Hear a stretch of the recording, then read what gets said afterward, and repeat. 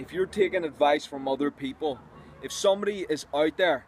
or there's a group of people, or you're with some kind of organization or group, you're in the business and you're taking advice or orders from somebody else,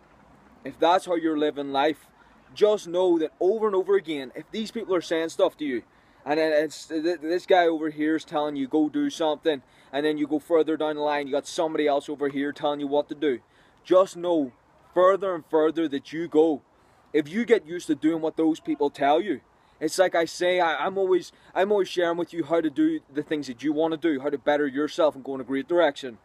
Also understand that those things that you're choosing to do that better you, if you apply it in the direction of listening to other people and taking advice from other people, just know it becomes that bit easier to take advice from someone else. It's that bit easier to now follow somebody else's orders. You become that bit less able to take control of your own journey in life. If you know that and you can clearly comprehend the effects of that,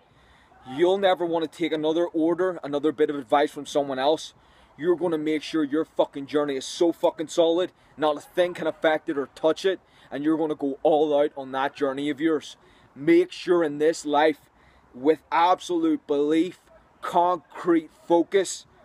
and no other bit of advice is ever going to affect you. This is your journey, your fucking mission, and you're going all out towards it.